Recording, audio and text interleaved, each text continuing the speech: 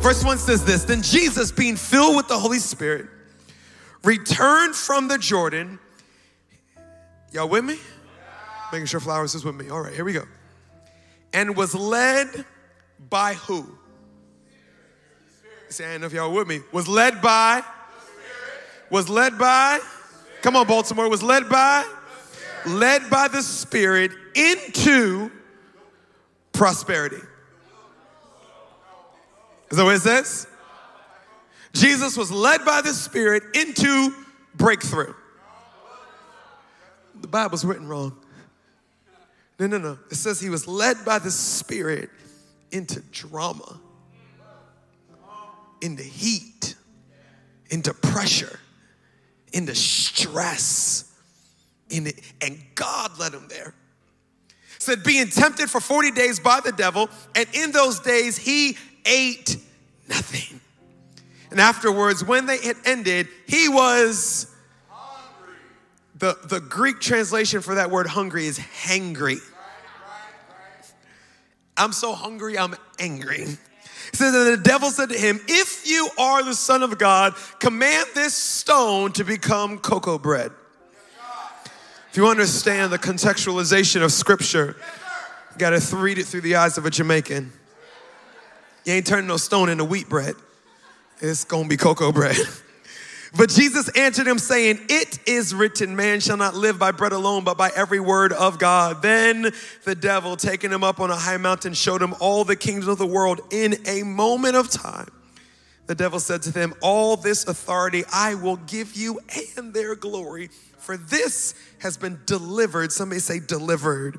Delivered to me and I give it to whomever I wish. Therefore, if you will just worship me, all will be yours. Hey, Jesus, all you got to do is bow down and worship me, and I'll give you the whole world. Jesus answered and said to him, Get behind me, Satan. Come on, somebody prophesy over your life. Somebody say, Get behind me, cancer.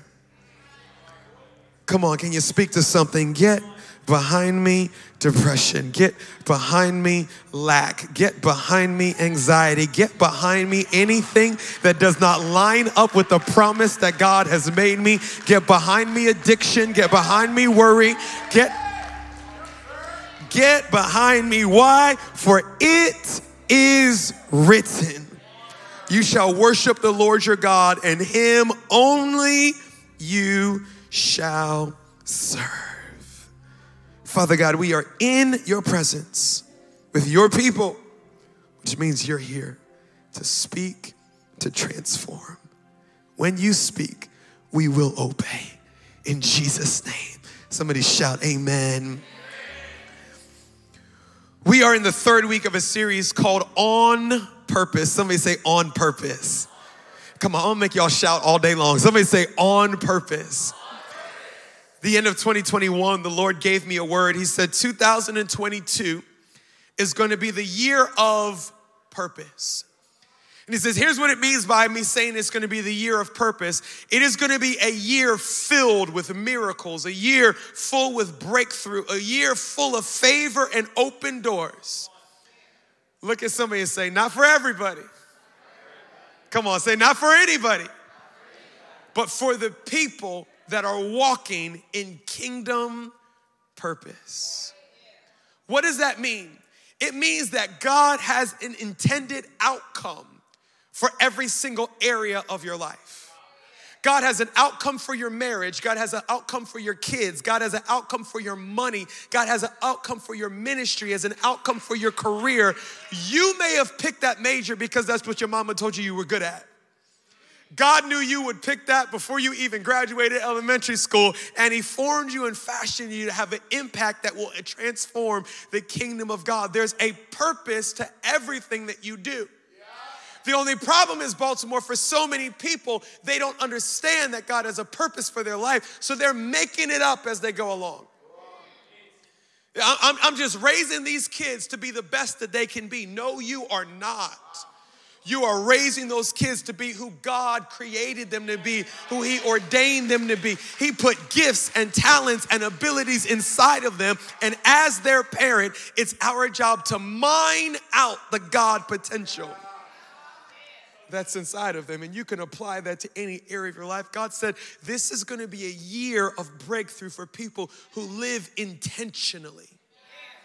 People who aren't waking up in the morning saying, Let's see where Tuesday takes me.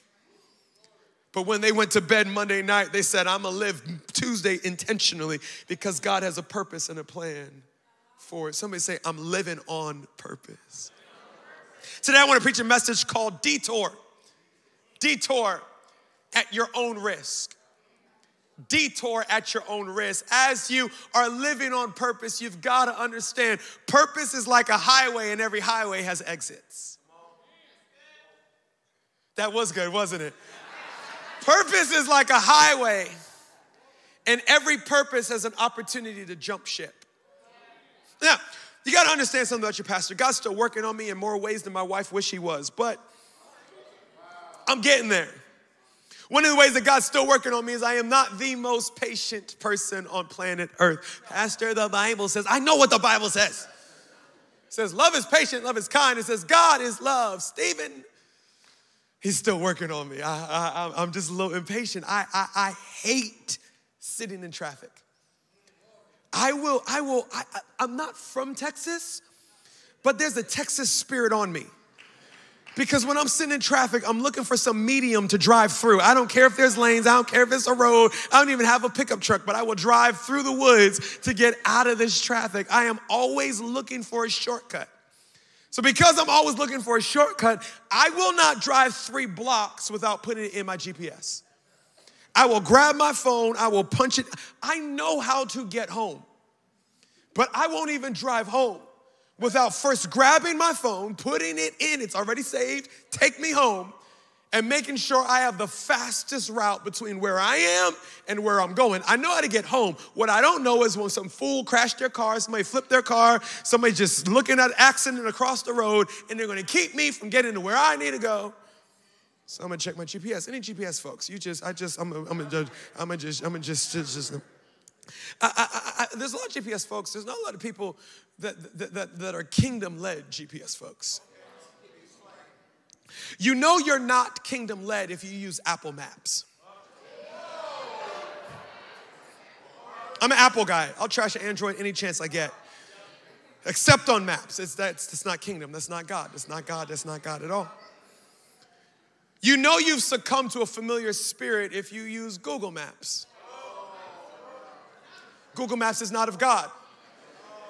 If you're a designer, you work for Google Maps, get a better job. That's not, that's,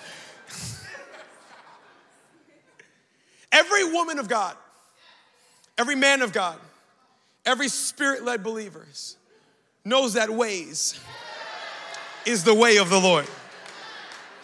Because here's what you don't understand every app can get you there, only Waze has discernment that will show you where the enemy is plotting your demise.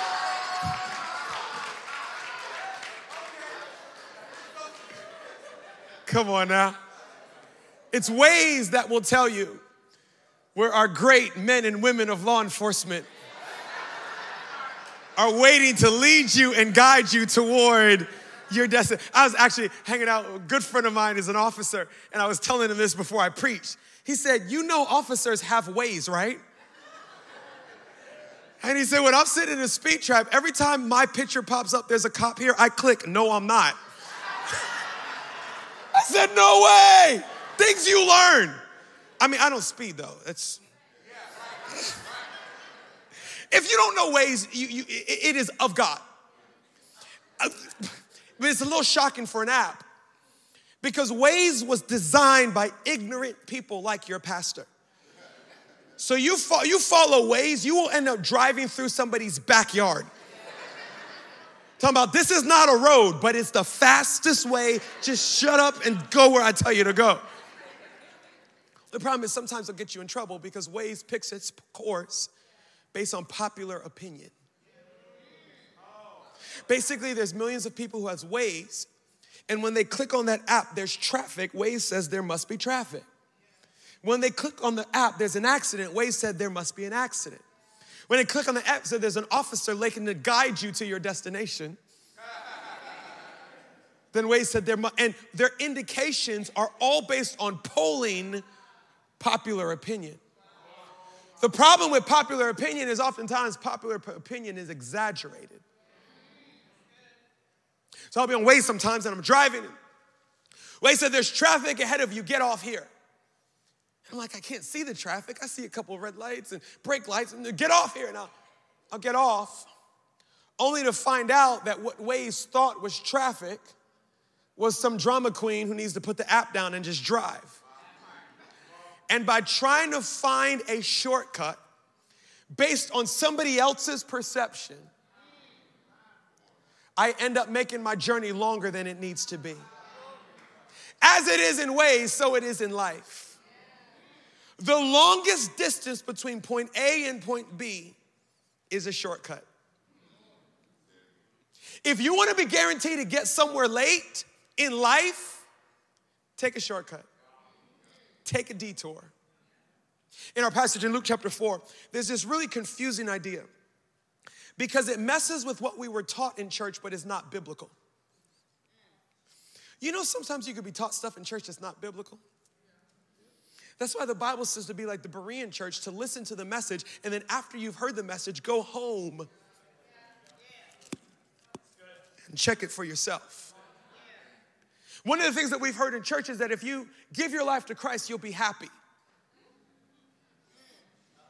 Anybody who's walked with God longer than 15 minutes. They just, they just laughed on the inside.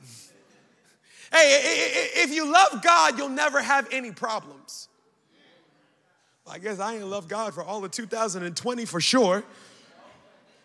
2021 was pretty problem filled, and 2022 ain't off to a good start either.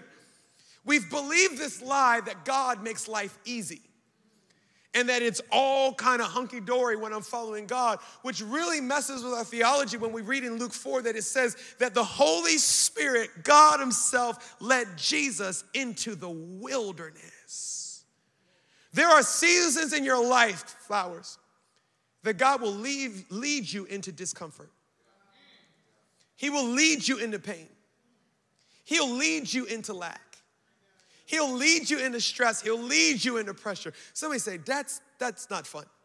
That doesn't make sense. That's not good preaching. And I am not saying amen to that. But you got to understand the why behind God's leading before you curse it or bless it. He tells us why he leads us into wilderness seasons of our life. In Deuteronomy chapter 8, verse 2, he said this, and you shall remember the Lord your God who led you all these 40 years into the wilderness. So, watch this. He didn't just lead Jesus into the wilderness, he's been playing that trick for thousands of years. He led Israel into the wilderness. Watch this. He anointed David king and then sent him out in the wilderness. You're the king. Now go out there with them sheep. He said, Here's why I led you into the wilderness. This is what he says, and then this is what Stephen says. He says, To humble you. Stephen says to beat the you out of you. I think mine's better. He said, I'm gonna lead you into a place that you don't wanna go so that I can humble you. Why would he wanna do that? He says, so that I can test you.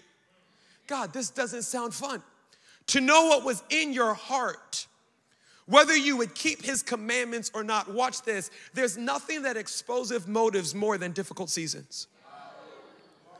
I can't really trust your heart for me as long as I'm always making you happy. Come on now, some relationship advice. I, I don't really know, oh, I love you. I'll see. Wait, let's see until I disappoint you. Let, let, us see when you say black and I say white. Let's see when, when we don't disagree. Do you still love me now? Are you still committed to me now? Or was it a love of convenience? He said, No, I got to take you through some stuff so that I can beat the you out of you, so I can humble you and test you to see what was in your heart. Somebody shout back at me, why? why? Because on the other side of this wilderness is something called the promised land. And it is above and beyond anything that you can ever ask, think, or imagine. I have so much blessings and so much favor and so much breakthrough for you on the other side of this that my blessings will tempt you to make the promise your God. So I got to take, it's, it's amazing to me when people come to me, whether they're single or married. Pastor, I'm, I'm lonely, I'm miserable, I'm, I'm in a relational wilderness.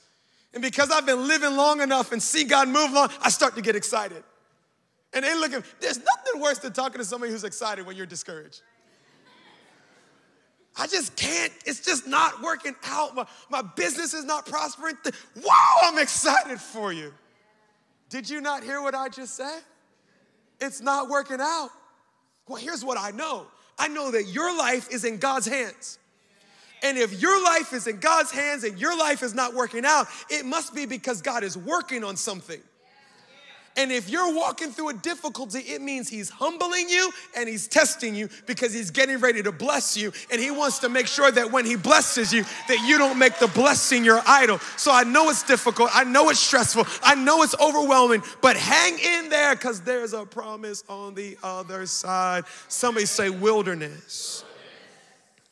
And it's in the wilderness that the enemy will always come to you and say, I can get you out of this. I know God led you into this, but I can get you out of this. I know you don't want to be in this situation. Somebody say, make it practical. There will be a season of your life where your career is not leading in the direction that you want it to go. And the enemy will bring you a job offer via LinkedIn Oh, I noticed your performance. How'd you notice? You don't even know me. Everything I do is classified. You can't know what I do. you, not me. Anyway, he will bring you a way out. Uh oh. Uh oh. Uh oh. Sheldon, stay out of trouble. Stay out of trouble, man. Stay. Out. Marriage ain't working out. I can't deal with her right now. So I'm gonna go to gym and I'm gonna work out. You go to gym and work out at one in the morning. The enemy will make sure that there is a shortcut.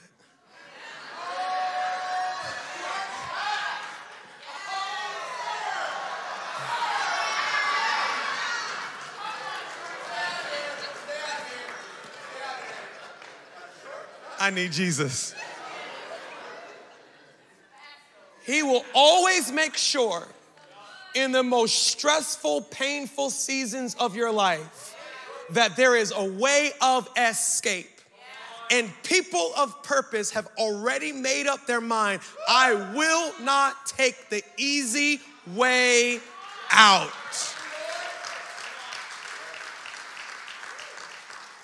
The only problem is if you think living on purpose is easy, then the second and easy option, there, there's no easy button to destiny. There's no shortcuts to purpose. It's painful and it's worth it. I'll give you three thoughts. Three thoughts. First one is this detours have three forms. Detours have three forms. Here's what you have to understand that the enemy has no new tricks.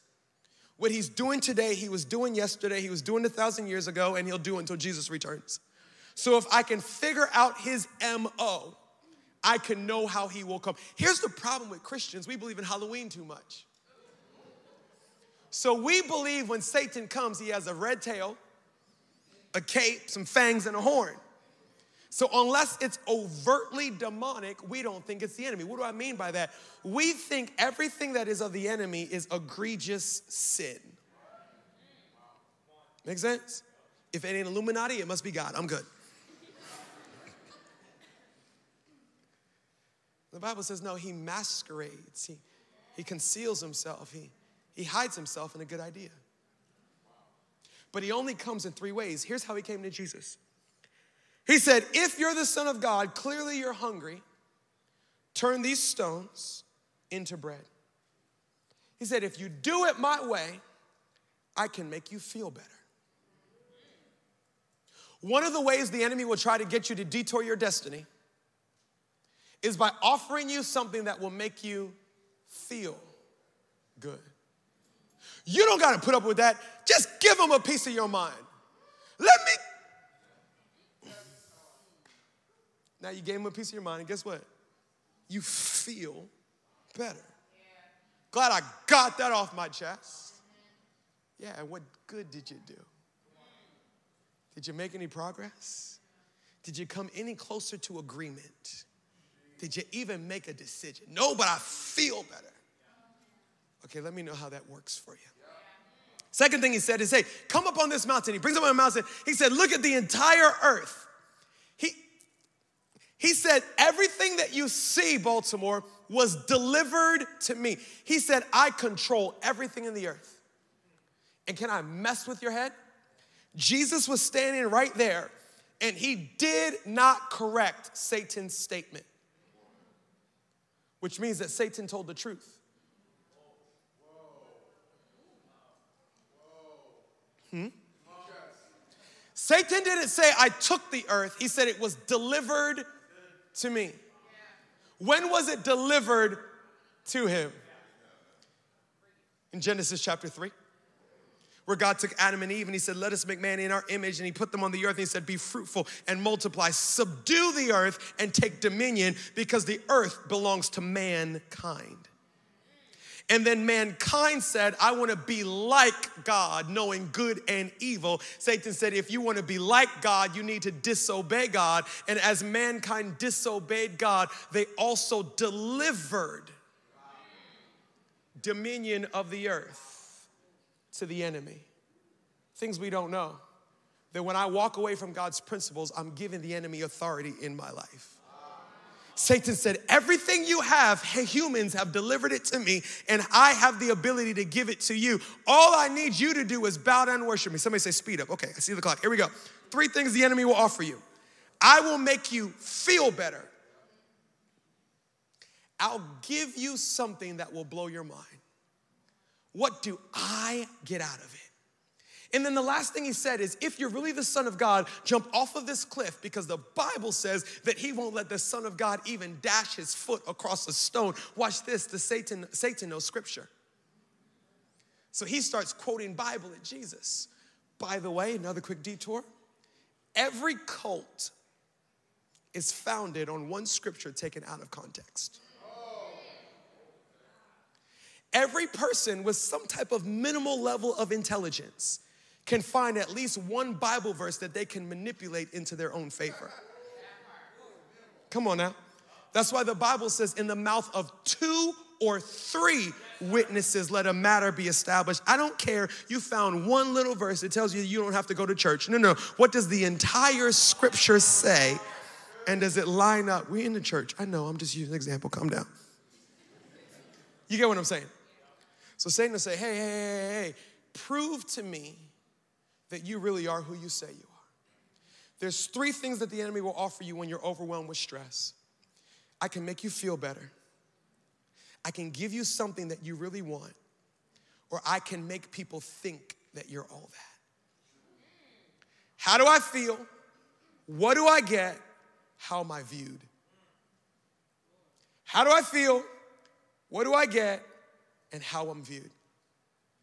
And any time the decisions I make in life are based on how it makes me feel, what do I get out of this?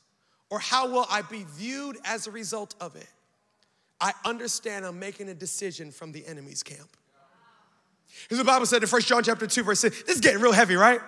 We're gonna laugh in a second, but it's gonna get a little heavier. Here we go for all that is in the world. Here's one of the things that a lot of people don't realize in church that there are two approaches to life there's God's approach, and then there's the world's approach. Approach, leave the verse up, to the same thing. So there's two approaches to marriage, there's two approaches to money, there's two approaches to raising kids, there's two approaches to your faith. He said, Here's the world's approach the lust of the flesh, how it makes me feel. The lust of the eyes, I want that. And the pride of life, what do people think about me? It said, none of this is of God, all of it is of the world. The Living Bible says it this way It says, Don't love the world's ways. Don't love the world's good. Love of the world squeezes out love for the Father. Practically everything that goes on in the world, wanting your own way, wanting everything for yourself, or wanting to appear important, has nothing to do with the Father. It just isolates you from Him. The world and all its wanting, wanting, wanting is on the way out, but whoever does what God wants is set for eternity. I don't know why I'm slowing down to this level, but we're gonna be there. So if I'm approaching my marriage from a worldly mindset, the only reason my wife exists is to make me feel good. Come on now. And the second she doesn't make me feel good is the second this marriage isn't what I signed up for. Or if I'm approaching my marriage from what do I get out of it? Everything about us together is what's the next goal we're going after. I, I, I want to get this and I want to do this and I want to accomplish this and this and this and this. Or if I'm approaching my marriage from how am I viewed? This, who are you talking to? I ain't no child, I'm a grown man. Come on now. And without even realizing it, we approach our careers with how it makes me feel. It don't pay you nothing, but I feel so accomplished and so I mean, it can't pay the bills, but I mean I feel like I'm making a change. You're broke. You need a better job. Come, come on now. It's amazing how many people will jump ship because they can't see the next goal to accomplish. Not realizing that God is saying, if you had just stayed there, I was getting ready to open a door that you did not see coming. Or how does this make me? Can I really get in trouble? It's amazing how people will decide their church not by what will push me towards the purpose of God on my life, but how does it make me feel? Let's try to make it spiritual. What do my kids get out of it? And what title do you have for me, Pastor? Ain't nobody said no amens. I might be preaching to y'all. Somebody go a little deeper. Can, can I take another level? Out of the three, how it makes me feel, what do I get out of it, how am I perceived? The enemy has all three tools, but each person has a propensity to one. Does that make sense? There's three ways that the enemy will attack, but every individual at Baltimore, Flowers, Columbia, you all have a propensity to one. Are you having fun? Can I take it another step? And because in church we are so good at judging other people, we have made judgment a scientific art. That it's amazing how we can look down at other people for the propensity that they struggle with simply because that's not my it. Are you tracking with me? And we feel so justified when someone strays from the things of God in that area because we say, I would never do that. And you wouldn't because that's not your DNA. You would do that. Go a little further. You people. You're so emotional. I mean, you're just up and you're down, and I mean, depression and anxiety and insomnia. What is insomnia? When I close my eyes, I sleep. You're always angry, you're always sad, you're always up. And you know who says that? A person who's goal oriented and they're not feelings oriented. And because they're not feelings oriented, that's not where the enemy attacks them. Every personality has a strength and every personality has a weakness, and you gotta know your strength to maximize your strength, but you gotta know your weakness to close the door on the enemy. Come on, let's see if anybody got any type of faith and self confidence. Can all my emotional people, can you just wave at me? Come on, come on, come on, come on, come on. Can I tell you the great thing about being a feeler and how it makes me feel? People who live life based on how they feel, they know what they feel and they know what other people feel. And because they know what other people feel, they're tied in and connected to the feelings of others. And they make people feel seen. And because they feel seen, I'm committed to you because you see me, you know me. There is nothing like a feeler that will always have an army of people behind them that will cut somebody on their behalf. I got me a crew. I got people that have my back and I have their back. Just I'm not a feeler, by the way. That's the great thing about, can I tell you the bad thing about feelers? If you ain't feeling like it,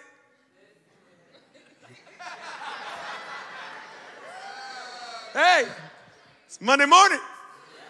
Time to go to work. I'm not feeling it.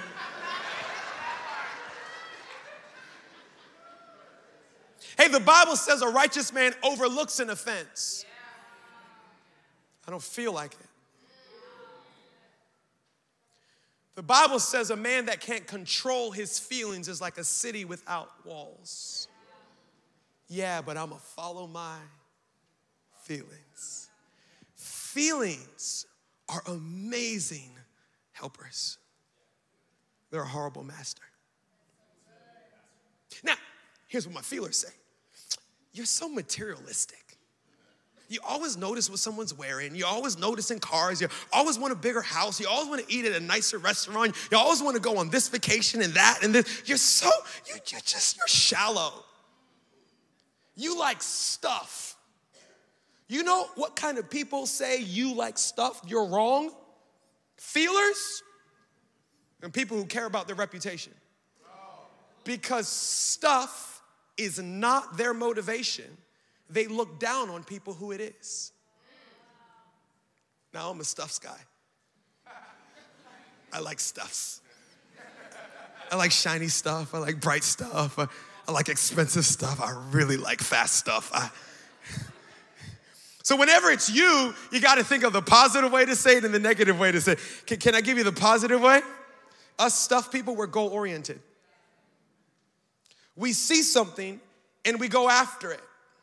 So when we wake up in the morning and we see a goal in front of us, but we don't feel like it, guess what we do? We put our shoes on and we go after it because I don't live my life based on feelings. I live my life based on the goal that's ahead of me. Come on, where's my people? Perception matters. What, how people, nobody's gonna say yes to this one. How, how people see this. Uh, hey, uh, I, I, I, if you think of a positive way to say it, everybody admits to it. But if you say a negative way, nobody's gonna cop to it. Um, how do I say this?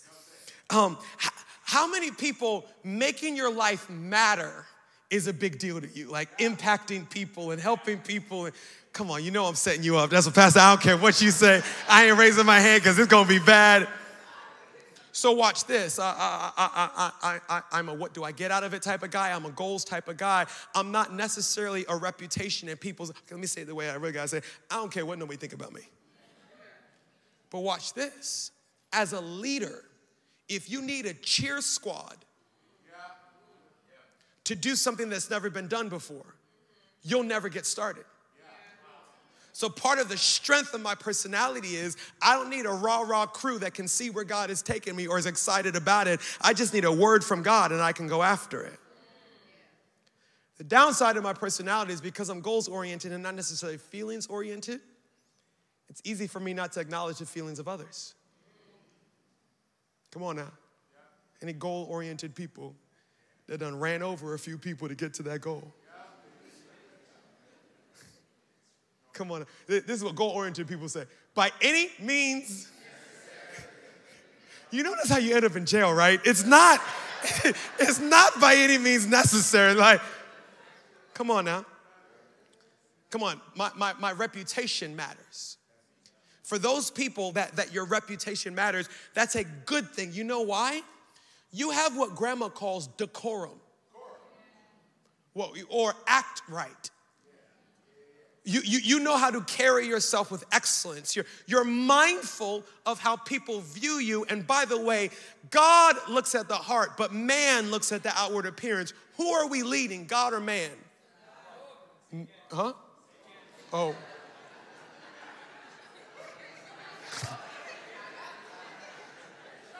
We confused. Let's start over. Man looks at the outward appearance, God looks at the heart. Here on earth, giving you a context clue, who are we leading? Follow me. Man, you better not be leading God. That's how you end up. you end up in a bad spot where you leading God. We're following God, leading people. Make sense? So the heart is not all that matters. Because the people who are following you will not know your heart until you give them an outward appearance worth following. Come on now. So people who influencing others and other people's opinion matters to them, they live a life that is worth following. I was flying out of town to preach a few weeks ago. It was a long flight. So I'm from Baltimore, y'all. I mean, I know I look like I'm not, but I'm from Baltimore. So I, I have my white socks on. I have my Nike flip flops. I have my sweatpants and my hoodie pulled over. I'm walking out the door. My wife said, You look ghetto. and you know what I said? I said, I don't care. I ain't gonna see. sure enough, I'm walking through the whole airport. Pastor? I said, Yup, that's me.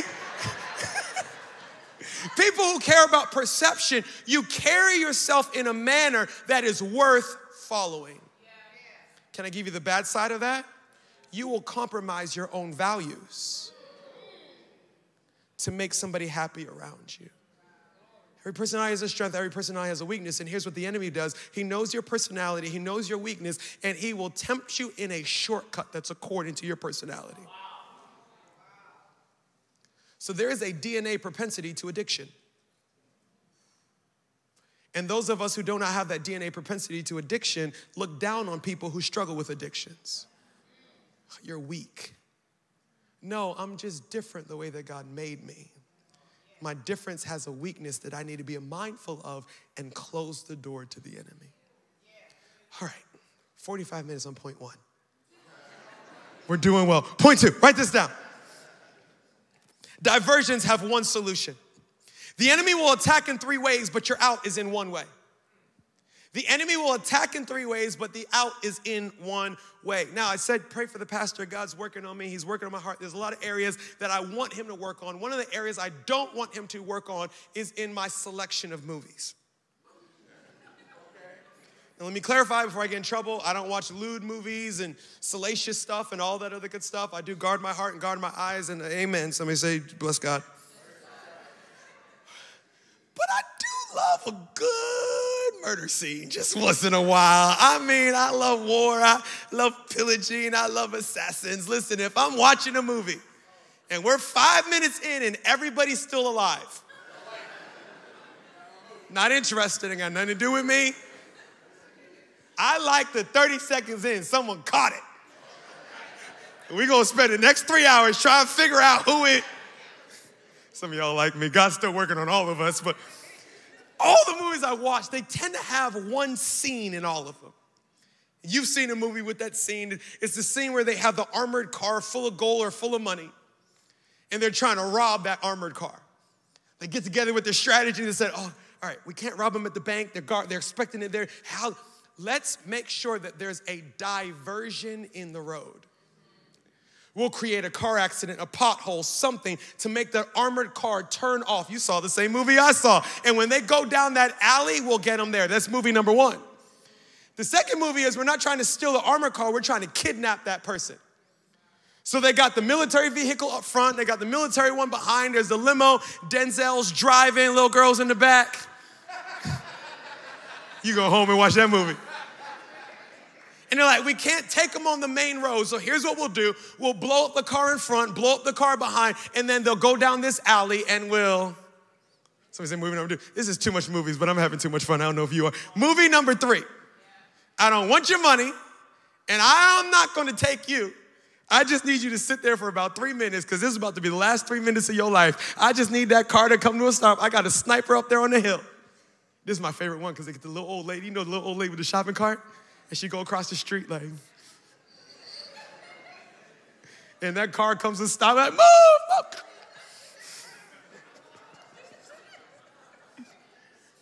The whole point is I'm gonna put a fictitious block barricade in front of you to divert you from the path that you're on, to get you to a path where you're more susceptible to destruction.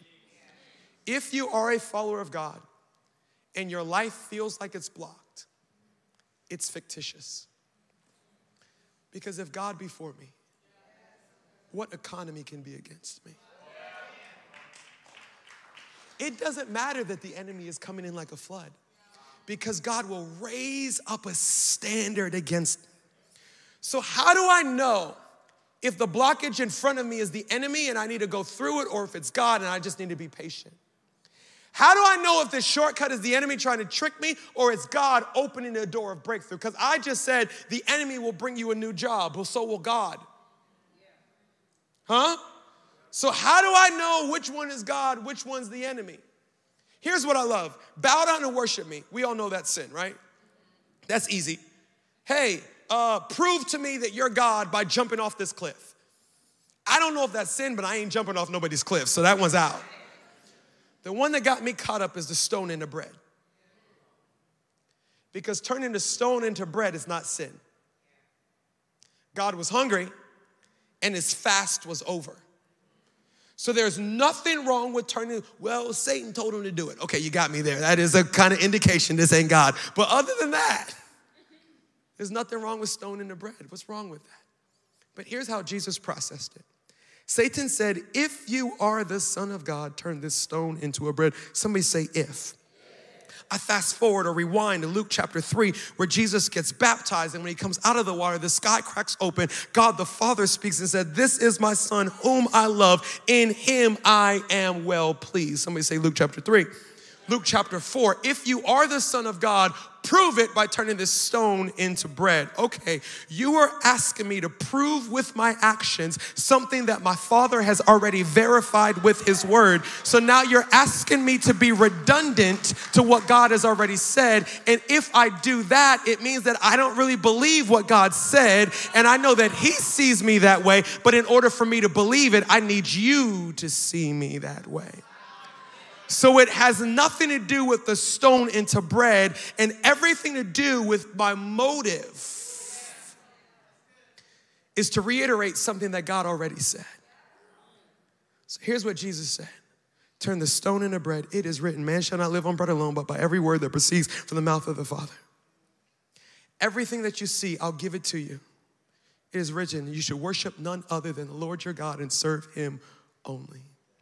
By the way, don't be so concerned about what you get that you're not paying attention to who you get it from. Because the right thing from the wrong source will cause you more pain than you ever thought. If you're the Son of God, throw yourself down. It is written. Do not put the Lord your God to the test. Somebody say, It is written. Say, It is written. Say, It is written. The only reason why God was able to expose the attack of the enemy is because he knew what was written. And every thought, every word, every motive that he had, he filtered it through scripture. This is me grabbing your face, saying, if you don't know God's word for yourself, you won't be able to tell a shortcut from the enemy to efficiency from God. And you'll be shouting, God's given me a breakthrough and it's not a breakthrough, it's a setup. Or you'll be one of them super spiritual people that see a demon behind every bush. God says that's not a demon, that's a breakthrough. Psalm 119, verse 96. Y'all with me? Y'all ready for this message to be over? That's the only thing you're allowed to say when a preacher is preaching. It's about time. Verse 96, this is talking about the Bible Give you point three, we're gonna land and go go home and eat tuna fish sandwiches. All right, verse 96, here we go. Nothing is perfect except your word. This 119, Psalm 119, read it. It's talking about what the Bible is. The psalmist said, Nothing is perfect except your word. The Bible is the only thing that's perfect. He said, Oh, how I love them. I think about them all day long. Here's what he's saying He said, God, I'm constantly filtering everything that comes out of my mouth, every decision, every motive through your word. He didn't say, I'm reading my Bible every day. or all day, he said, I'm thinking, does this line up with scripture? So let me act it out and I'll come back to this verse. Somebody ticks you off. I, I'm a give you a piece of my mind. Give me one second. Am I allowed to give a piece of my mind? Piece of my mind, piece of my mind, piece of my mind, piece of my mind. Ah, speak the truth. Let me tell. In love. Okay, okay, okay, okay. I love you. Now let me tell. It says, I'm filtering everything that I do and I say all day long. I'm thinking, does this line up with scripture? Somebody say, I got it. Here's verse 98. Look what he says. He says, Your scriptures make me wiser than my enemies because they are, your scriptures are my constant guide. When I live according to God's word, I'm smarter than my enemies. Now, we preach about enemies, we preach about haters, and I didn't know anything about it until this lawsuit I just got finished with, and now I got some enemies. What? We good. It's all great. We won. But anyway, just to say that. Okay. Calm down, calm down. So, watch this. If you've ever had enemies, you know enemies often lie. Enemies often manipulate to get their way.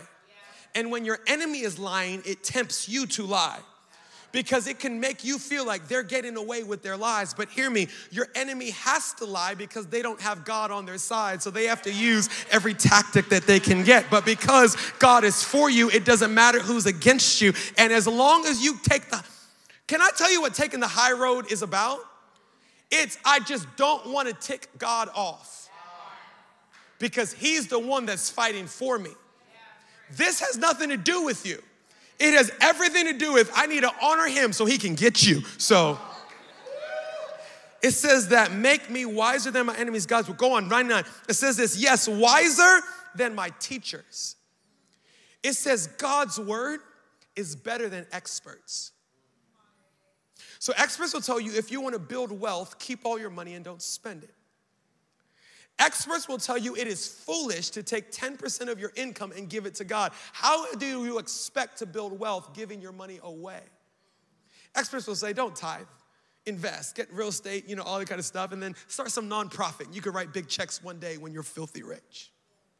God's words say, oh, not an amen in this room. I'm preaching in the most non-tithing service of the day. That's all, that's all right. Good thing I'm not a people pleaser, right? I got a goal. All right. God's word says 90% with the favor of God on my life will always take me further than 100% with God's opposition. It says scripture will make you wiser than experts. Can I talk about your mama and then we're done? Well, I'm not me, not me, not me, scripture. Verse 100 God's scriptures, they make me even wiser than the aged. You know what that means? Well, my mama told me that. Well, my daddy said this is what a real man is. Can I really get in trouble? You know, us black people, we always.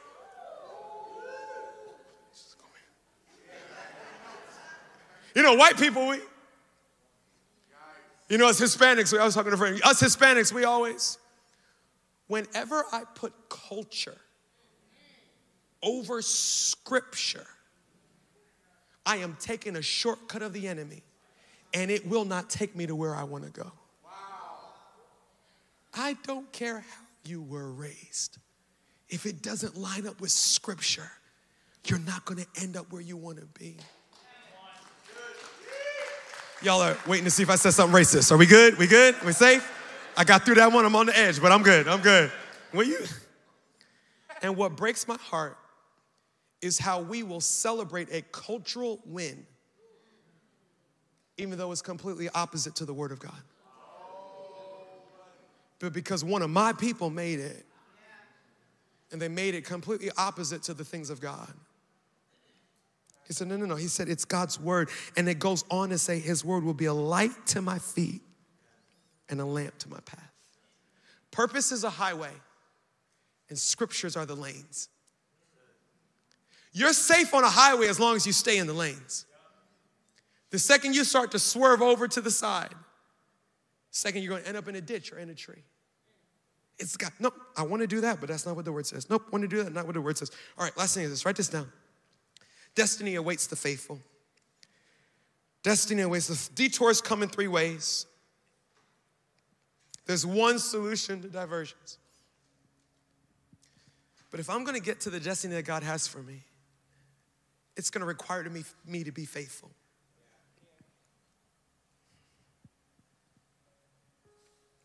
Satan said, You do this, I'll make you feel better. You do this, I'll give you everything that you see. You do this, people are gonna think that you're all that in a bag of chips. But Satan is not a creator, he's only a repurposer. So, watch this Satan offered Jesus, and he's offering you and I something that Jesus has already offered us. And it's not an offer from Jesus, it's a guarantee. And one of the reasons why the enemy gets us to go his way is because he's manipulated our minds in what we think God wants from us. We don't think God wants us to be happy, we think God just wants us to be holy. I don't care if you're happy, just be holy. Come on now. If we were to be honest, we would think in our mind that God would say, You shouldn't care about cars. You shouldn't care about goals. You shouldn't care about stuff. How shallow are you? You have me. Why do you care about stuff? That's what we think the voice of God sounds like. We think God would say, What do you care about your reputation and other people? I think that you're special. And the only reason we believe that is because we've listened to what the enemy has said about God, not what God has said about himself. Because here's what God said He said, A good name is more valuable than gold. He looked at Abraham and he didn't say, Abraham, I'm gonna make you holy. He said, I'm gonna make your name great. If God didn't care about your reputation, why would He make somebody's name great? God looked at the early church. He said, I freely gave you my own son. Do you not think I will not also freely give you everything else? He said, Ask of me, and I will give you the nations. There's nothing wrong with possessions. God wants you to have possessions, He just doesn't want possessions to have you. And it doesn't matter how you feel. You know, in church, you always talking about the flesh, the flesh, the carnal nature. Do you know what God thinks about the flesh? First of all, he fashioned and formed your flesh. And then after he fashioned and formed your flesh, he said, I love it so much, I want to make your flesh my temple. If the flesh was so bad, why would God want to live here? He said, I love the flesh. It's amazing. Just don't let it be your master. Make sure it's under your control and that your cravings don't control God says, everything that you want, Union Church, hear me, Union Church, hear me. Everything that you want, God wants for you. You're wrestling. Should I go back and get that master's degree? God wants you to have that master's degree. Man, I just want to make something of my life. God wants you to make something of your life.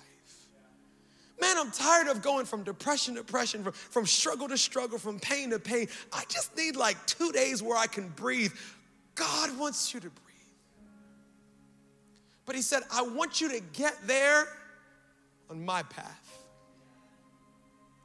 Because the path that the enemy has for you is full of robbers and thieves, and you'll never get to your destination. So God gives us his path in Philippians chapter 2. He said, Your attitude should be the attitude of Jesus, who being God himself gave up his heavenly reputation and came to earth as a human. Not only did he give, come to earth as a human, he gave up all the wealth of being the King of Kings and the Lord of Lords. He, he gave up his, he submitted even to death, death on the cross. Here's what the Bible says it says, because Jesus took the painful route, took the long route. By the way, y'all know there was a shortcut, right? It's called the flood. Kill them all, start over. Never thought about, did you? He's creator God. He could have wiped the earth and started with a whole group of new people. He said, No, no, I'm gonna take the long way because redemption is so much better than destruction.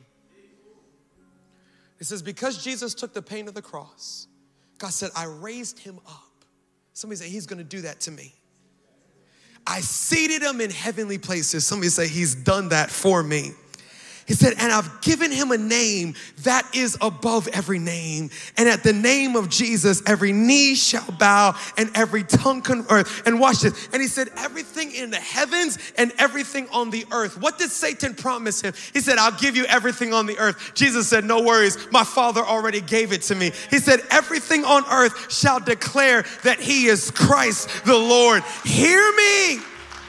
There is a godly reward on the other side of endurance. There is victory on the other side of pain. There is a promised land on the other side of I'm not taking the easy. You listen, your marriage may be in the worst season it has ever been. Don't take the easy way out. You may be raising some teenagers and said, I could put them on Craigslist. You know what happens if you don't kill them? They'll make you some grandbabies and you're gonna be like, it was worth it. I'm so glad I kept you. Any area of your life, there's a shortcut. It's not gonna end you up where you think it is, though. But if you'll stay in the wilderness that God placed you in, I promise you there's more on the other side than you ever thought possible. Father God, we're grateful, we're thankful. Not because we feel good but because you are good. God, some of us have gone through seasons we wish we didn't have to. Some of us are in seasons that we wish we could get out of. Some of us are going into some wilderness experiences. But God, you're in control. God, you're testing us. You're, you're proving us. You're humbling us because you're getting ready to bless us. Just where you are with your eyes closed and your head bowed, if you could pray this with me, say, Holy Spirit, what are you saying to me? Just take this moment, allow God to. Ah, I just sense with all my heart some of you are getting ready to make a decision tomorrow. That it wasn't sinful, it was just a shortcut. God is saying, no, no, no, no. There's a reward for those who endure. I want to pray for those of you at Flowers in Baltimore, BWI here in Columbia. If you'd be honest, you would say that God is not the center of my decisions. He's not the center of my life. I am. The bad news is, you being the center of you is guaranteed to get you to a place that you don't want to be. The Bible says ultimately you'll spend eternity in hell separated from God. The good news is, God is standing right next to you in this moment, asking, Will you allow Him into your life? Yeah, it includes dying to yourself. But oh my goodness, the life you get to live on the other side. So wherever you find yourself, you say, Pastor, I'm ready to die to me so that I can live for Him. Right where you're sitting, can you pray this prayer? Say, Lord Jesus, thank you for loving me for seeing me, for having a great future for my life. Thank you for dying on the cross, for taking my punishment so that I can be made new. Today, I surrender. I give you all of me. Be my Lord, be my Savior, and use me for your glory. In Jesus' name, amen and amen and amen. Come on, church. Can you celebrate for every single person that